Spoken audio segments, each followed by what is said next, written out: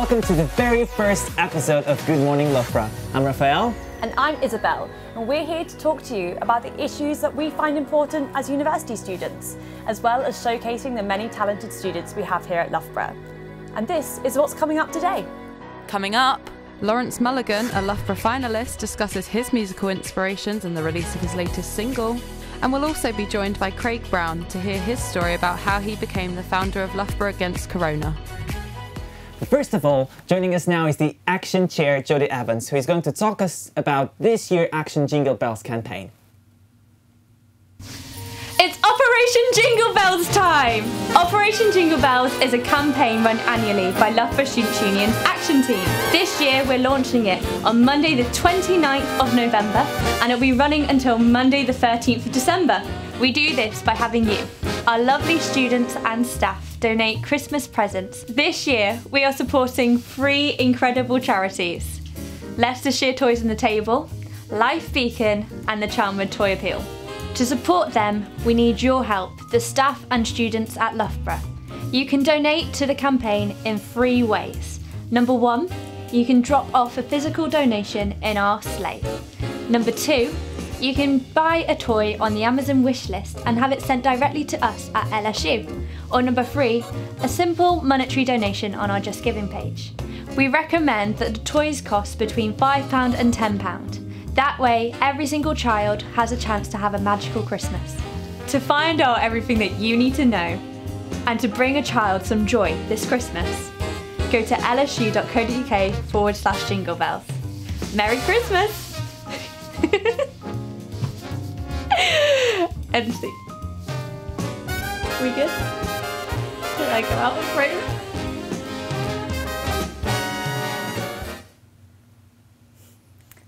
Good morning, Jodie. Thank you very much for joining us today. So, you were re elected at the end of last year as Action Chair, so this is your second year as um, Action Chair, right? So, how's everything going? How are you dealing with all the, all the things you need to do? Just tell us a little bit more Um, about that. It's very different from last year. So last year we had the COVID Community Champion scheme, which kind of took over my role, and um, we didn't get a lot of our action projects out there. Um, this year, almost all of our action projects are up and running already, um, which is really lovely to see. Um, I think we hit like 2,000 hours of volunteering already, Wow. and in the total of last year we only hit 3,000. I say only, it's still amazing for COVID, um, but it's it's a lot of work. Um, but it's absolutely amazing work what we do. Oh, that's so Wow. amazing to hear that all your campaigns can run this year. And one of the campaigns you're running is Action for Jingle Bells. So, can you tell us a little bit about your ideas behind this campaign? Yeah, um, so it started in 2018 when Joel Brocklehurst was chair, um, and he basically um, found a charity, Leicestershire Toys on the Table, and really loved what they did. So they go around to different children in Leicestershire, make sure that they have a present to open on Christmas Day, um, which is just, it's a really lovely idea. It's So heartwarming, isn't it? Yeah, so he then talked to our team at Loughborough um, Students' Union and basically created this whole Operation Jingle Bells campaign where people can donate presents by either bringing in a physical donation or doing monetary donations on Just Giving. Um, and it just kind of spiraled from there. It's become an annual thing. In the past three years, we've donated over 2,000 toys. Um, So this is the fourth year of the campaign. Um, and hopefully we can match last year. So last year we hit a thousand toys. So it would be amazing to get that It's again. incredible. And so, from the video, we could see that you are um, uh, supporting more charities this year. Is that right? Yeah. Um, so um, we usually just work with Toys on the Table, but we've been approached um, by other charities because they know the success of our campaign. So the Charnwood Toy Appeal, which is a bit more of a local, smaller charity, have come to us and said they need help supporting the 600 children that they normally support. Um, and then Life Beacon is a charity which runs one of our action projects, and they work with um, children and young mums in Africa. So we wanted to support them as well. Wow, so Life Beacon's quite different to the other charities you support. Why did you choose to support them this year? Um, so Life Beacon was actually set up by a postgraduate in Loughborough. Um, her name's Ruby. She's really lovely. Um, so she came to us last year, said, "I want to make Life Beacon into an action project." So they go into secondary schools um, with volunteers normally who are the first in the family to go to university to kind of help show the children that you can do anything that you put your mind to. If you want to go to university, there shouldn't be anything stopping you. If you want to do an apprenticeship, anything like that. So it's there to inspire children. Um, and then what Ruby also does with the charity is every January she goes um, to different parts of Africa. Um, she gives um, new mums and their babies a gift because when a stranger gives a gift um, to a young mum in Africa, it means that baby's special, so they're going to really care for it. Um, and then they also do a back to school um, project, and so they go into schools and they give about 200 kids a backpack full of stationery equipment they would need to get through school. And it's just something like little that we take for granted here, but they really appreciate over there. Definitely. And other than knowing that they've made Child Christmas, what kind of other incentives can students um, get to be involved in this campaign? So we're at Loughborough. It's a bit competitive, so we're always going to put a bit of a competitive aspect on things. Um, any student group, um, we've challenged them all this year to raise £100, so that would Wow. equate to about uh, 10 to 20 presents. Um, so we're asking them, the top um, society, we're going to give them £100 to their committee so they can do something for the society, same for their hall. Um, we're looking into what we can do for departments, AE clubs, enterprise groups, welfare associations as well. Um, but money is money, it's where you can get it from. Um, as well as that, um, our committee, so the action committee and the executive team, um, are all doing challenges. So um, if we hit a certain amount of to- toys, um, then you can go and throw some sponges at exec in the doc- in some stocks.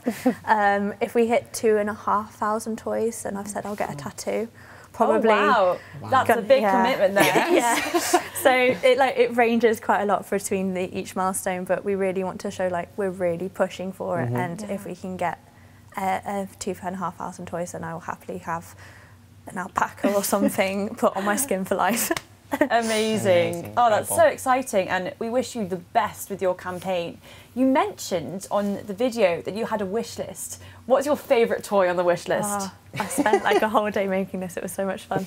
Um, I probably there's a thing called ugly dolls, and they're like little teddy, like plush teddy bears um, that I think are adorable, but they're called ugly dolls because they're like they're missing an eye or they've only got like a buck tooth or something. So That's such I a think they're my favourite. Boy, Yeah, that's amazing. Oh, and, and how, uh, how else are you raising money for this campaign? Um, so the campaign's running in line with the festive calendar that LSU are producing this year. Um, so um, on our launch day, um, it's the winter showcase. So we've got our bake sale going on at the winter showcase, and any money that we um, take in will go towards Operation Jingle Bells. Um, we've also got a stall at the Rag Christmas Market on the closing day of Jingle Bells, so Monday the 13th of December. Um, and everything we're selling there will have been made on one of our projects by elderly residents or children. Well, Jodie, thank you so much Thank you for coming much. in to talk to us today. And we wish you the best of luck with your campaign. Thank you. Very good luck. Still to come, we have Lawrence here on studio talking about his life, his passion for music, and an exclusive live performance of his newest single. But up next, we will be talking to Craig Brown, who is one of the co founders of Students Against Corona. Hi, my name is Craig Brown. I am the founder of Loughborough Against Corona and the co-founder of a bigger global organisation called Students Against Corona. And what we do is coordinate an army of thousands of volunteers, uh, and we connect them to people that are in need as a result of the COVID nineteen. Uh, pandemic. So we've been doing and coordinating jobs uh, like uh, prescription pickups from pharmacies, working alongside the NHS. Uh, we've been giving uh, elderly people calls to make sure that their you know their well-being's okay and, and, that, and they're still getting that socialization they need. We've been facilitating uh, picking up groceries from, uh, from from the shops and just making sure that those that are isolating or vulnerable or shielding are getting the groceries that they need, and just generally trying to help those that have been most affected by the by the restrictions that are in place as a result of the pandemic. Both locally and internationally, we've worked with many stakeholders, but most importantly, we've worked with uh, the Royal College of GPs and in particular the former past president, President Lakhani, uh, in formulating uh, some risk assessments and health and safety guidelines so that volunteers uh, that do want to help and do their bit during this pandemic have the PPE that's necessary to do so and are behaving in a way that uh, protects people from spreading the virus and making the situation worse because the last thing we want is for the situation to be exacerbated by people's good efforts. We founded Loughborough Against Corona initially and then Students Against Corona because I well, I, I personally had a family member that um, was uh, vulnerable and shielding, and I wasn't able to book a food delivery online because of the the, the massive demand that um, was put upon these services. So, you know, she called me and said that you know, she felt very isolated and wasn't able to get the help that she needed, and I was too far away uh, to help her myself. So we put a Facebook post out locally and said, you know, is there anybody else that, that, that needs anything doing? Is anybody else in need? And we had a massive response of people that needed help and an abundance of, of, of people that, that, that, really wanted to help and volunteer their time, especially young people and students that were, you know, perceived as less vulnerable to the virus. So we made an effort just to, you know, coordinate all of these lovely gestures of, of goodwill and wanting to help and try and put them to good use in the best way that we could. So, we are joined by Craig now. Craig, thank you so much for joining Thank us. you very much. Can you talk to us a little bit more about why you decided to found Loughborough Against Corona? Sure. I mean, I, th- I guess I felt a bit useless when the pandemic started because I, I mean, I had an events business whilst I was at university, and uh, that'd been going well. We had lots of events lined up, and then obviously the pandemic came out of nowhere. So I just sort of sat at home, not much to do, and just felt like you know there's got to be something we can do just to fill the time, really. so I, uh, yeah, I, I, I put a, a, Facebook post out just to see if anybody needed some shopping doing, or do you know anything we could do sort of to help. And the just response of people that needed help was just overwhelming. And then like the response from people that wanted to help was there as well. So I just figured, you know, maybe, you know, maybe use some of the skills I learned in my degree doing, you know, business and just try and coordinate those efforts so that I could put the people that wanted to help in touch with the people, you know, that needed help and, and, and just to see if we could make that happen. So uh, yeah, once we got that response, a, a, a couple of um, different press places got hold of it and, and put it out there and then it just sort of in a couple of days just blew up into something mm-hmm. into something that I, I didn't really expect to be honest. So incredible. Incredible, because you founded Loughborough Against Corona, but then you expanded it into Students Against Corona. How did you become one of the co-founders of, of this campaign? Well, I guess we had a, I had a, a few friends that were just sort of, you know, had a similar idea to me, different cities. Uh, I, I had a good friend in, in Oxford that was trying to do something similar. And um, we just decided we'd sort of pull our efforts together and try and coordinate what we were doing. Um, one of the biggest issues that we were sort of hearing about was that there are loads of really well-intentioned people that were trying their best to help, but could have inadvertently been making the problem worse just by not making, you know, taking the right precautions, not Yeah. wearing the correct PPE, not having the right provisions. Um, so we just wanted to get some sort of simple processes in place that were signed off by institutions that said, you know, this is safe for you to do, um, and and use all of our resources that we'd built up in terms of um, even just organising how to put people in touch with each other, how to make sure people are safe, how to make sure that the vulnerable are safeguarded. All of these things that took quite a while to get going. If we could just, you know, give those resources to other people in, in, in other places that were trying to do what we were doing, then we could at least, you know, make sure that all those good efforts were going in the right way and they weren't making things worse, you know, accidentally. And how does it feel to have founded this international campaign that's helped and changed so many people's lives? You must be very proud. Well, it's, it's, it's an honour to, to represent the people that, that you know that have all helped. Uh, I, I I've said many times, even over the course of the pandemic, that, that when I say there's an army, I mean there was an army of people that was so willing um, to, to be selfless and, and to make sacrifice and to try their best to pull other people out of the situation that we all found ourselves in. And I've met some remarkable people, and I've had people that have volunteered for months on end, spending 40, 50, 60 hours a week working and to coordinate what we're doing and, and just to, to be a spokesperson for them and to be able to help coordinate the, the amazing work they've done is, is just a massive honour and a privilege and I'm so grateful to have experienced you know the I guess it's restored my faith in humanity a little bit you know that people like that are out there and they are so willing to help and do the right, and do the right thing You should be proud that that is amazing. Um, so of course we're now returning to a supposed normality, but of course COVID is still here. Yeah, so yeah, what are your predictions for the next couple of months in terms of COVID and? I think anybody that has a prediction and stands by it is lying.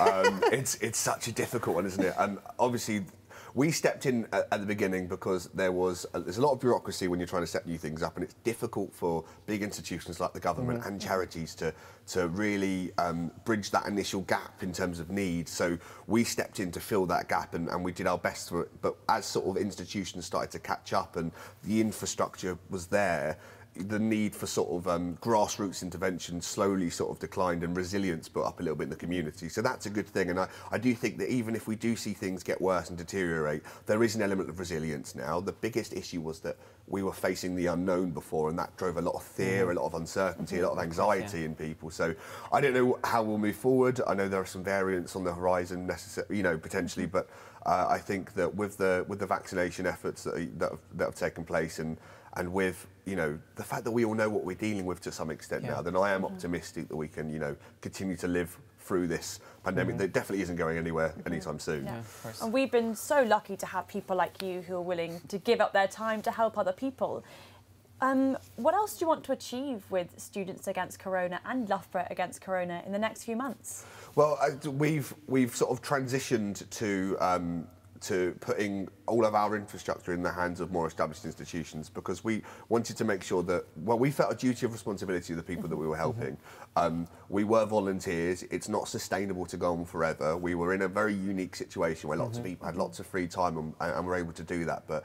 It, I don't think it'd be fair for the people that we've helped and, and you know to to leave them without the support they need just because we can't facilitate that anymore. So what we've done is transition so that all of our infrastructure has gone into the hands of local charities that are established and the council, uh, John Storer House in Loughborough in particular, and they've taken over our CRM and our database and they're going to look at how they can serve the people that we've been serving um, in, you know, sort of long term, so that those people have the support they need and they can sort of build the resilience in the community, so that all these people aren't so dependent as they have been. So, um, so yeah, we- we're we're we're there, volunteers. We've got we- we've got the, the the group is ready to launch up again if the need ever, you know, if the need's there, but.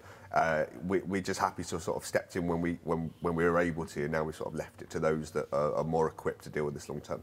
Yeah. So now we can all see that you're very focused on Students Against Corona, Loughborough Against Corona, but what would you like to do next? Yes, a good question. Um, so, I, I mean, I founded my events business in, in uh, whilst I was in my second year at university, and uh, that was Enzo Bespoke Events, and we had, uh, you know, loads on, on the horizon, and, and it was really weird because obviously when the pandemic, you know, stopped all that happening, I sort of felt a bit, you know, what do I do now? So we ran the charity. I, I mean, I worked as a, a manager at a, a test and trace site in Loughborough as well for, for a, a, well about eight months as well. So I've sort of done you know whatever I, I, can, I can to get through the pandemic. But now I'd really like to see the events business grow. I'd like to go back to doing what I enjoy and doing what I love. And it's great to see that um, you know that industry starting to reopen and students are enjoying having some nightlife and, and we're able to offer some some different things. So I'm hoping that will continue to grow and I can yeah just just have a you know a good year or two just trying to you know do what I tried to do a couple of years ago I suppose. Well, we wish you all the best, All the best. with your events business. Thank you so much. for the Thank hard you. work you did for Corona. You helped so many people, and thank you so much for talking to us today. Much Thank appreciated. very Thanks for having me. Cheers. Thank you. Thank you very much. And now, up next on the show, we will have Lawrence, who is going to talk about his passion for music, his potential career in the music industry, and he's going to perform his new song here at Good Morning Loughborough. It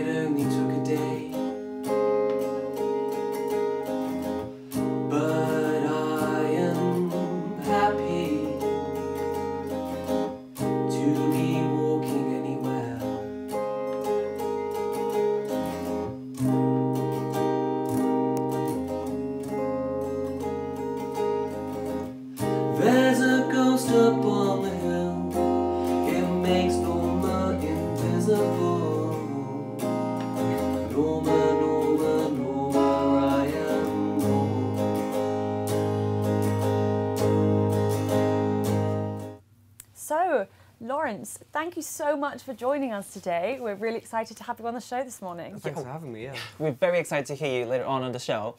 But first question, first question, how did you get into singing and music? Um, it's something I've done since I was like four, five, six. I've always been kind of just like chiming away on like xylophones or pianos or uh, stuff like that. So yeah, it's just been lifelong kind of messing around with music, really. So, you are a singer, but you're also a songwriter. Yeah. What inspires you the most when you write music? Um, recently, it's kind of been like the places I've been and like the people I've met. So during last year, I was living in Italy for a year, and it was all I was writing all the songs about the people I met and like the place I was. And when I told people I was writing songs about them and about this town I was living in, like, why are you writing about Latina? Why, why are you writing? Because there's nothing interesting going on here. But for me, it was like out of the norm, kind of like interesting for me. So. And when it comes to music, do you have a role model? Um, so many people. Uh, I think uh, a few of the artists I really admire are like, well, admired uh, Elliott Smith and kind of Michael Kiwanuka and all those guys who are just kind of just or did or have done some like just really interesting stuff. Yeah, but yeah, go on. Um, Yeah. Why do they inspire you? Um, the individuality, they just they just like they just sound like them, and it's not kind of like just. They, they, they sound like how they act and how they walk and how they talk, and it's just like very personal to them, their sound, and I just find that really interesting. Natural music and Yeah. raw and comes from the heart. So we're going to hear your brand new song, Topo Street Food, Yeah. later. Very exciting. So what's the story behind this single? What inspired you to create this song? Um, so it was a, it's a song about a cafe called Topo Street Food, which was the cafe that I lived across from when I was on my placement year living in Italy. Mm-hmm. And it's just kind of about going there every morning and like my routine throughout the day and just kind of like living this life that I'd never really led before, mm-hmm. having like living in Loughborough for a couple of years and then going off and living in Italy. It's a big, it's a big change. Very So- different places, aren't they? Yeah. Oh yeah. Yeah, yeah. So you released the music, and then when, how did you feel when you found out that your track was being played in BBC Introducing? That must have been incredible. It was. It was very surreal. It was very surreal. We were all. Um, it was the day. The day I released the song. We, uh, me and a few friends, were just at the pub, and I was playing on the speaker, um, being like, "Oh, new song released." It was all really fun. And then, as the song finished, I checked my emails, and I had an email from BBC introducing, being like, "Oh, we're gonna play a song," and yeah, it was really cool because they told me it would take six months for them to listen, and then it was like three days later that they, they played my it. So. That's That's amazing. That's amazing. Yeah. incredible. It must have felt so cool to hear your song on live radio. But do you have any plans for new songs? Are you writing new music at the moment so, as so well? many plans, so many, so many plans. Um, I was, I was living in Loughborough over summer once I got uh, back from living abroad, and I've been pretty much writing music for the past like three months, like recording it all. I wrote it all when I was there, uh, like living abroad, and then I'm kind of like now putting it all into the computer and recording it all and layering it all. But it's all I do it all myself, so like, and I've got no idea what I'm doing.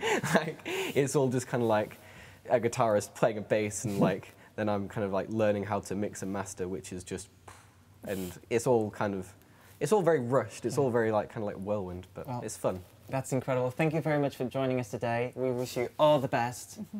So, Cheers, guys. Thank yeah. you. And with Lawrence's song being released on BBC Introducing, we know he's got a bright future ahead of him. That's everything we have for today. We hope you have enjoyed as we did this first episode of Good Morning Loughborough. But now, here he is now in an exclusive live performance of his new single, Topo Street Food. Here he is, Lawrence Mulligan. See, you next next time.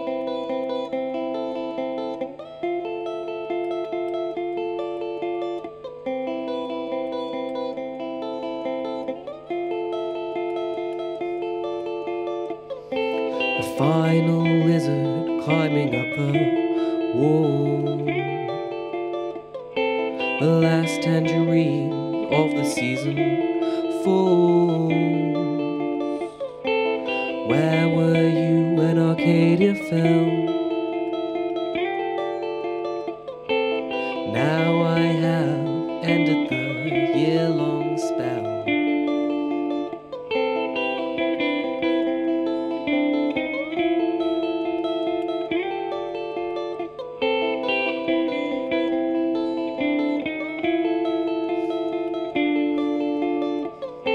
An empty room and Norah Jones.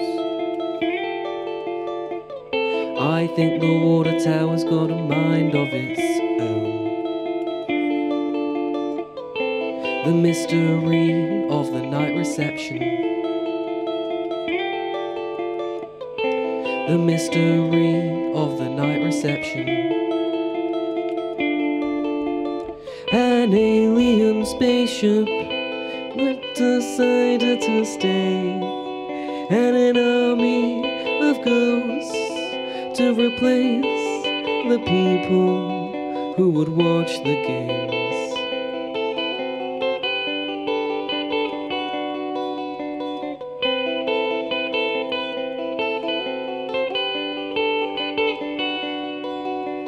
Woken up by screaming on Sunday afternoon.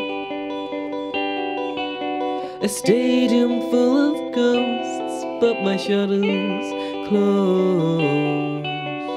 And I can't see in, even if I tried. So I stare at the mountains, the world is passing by.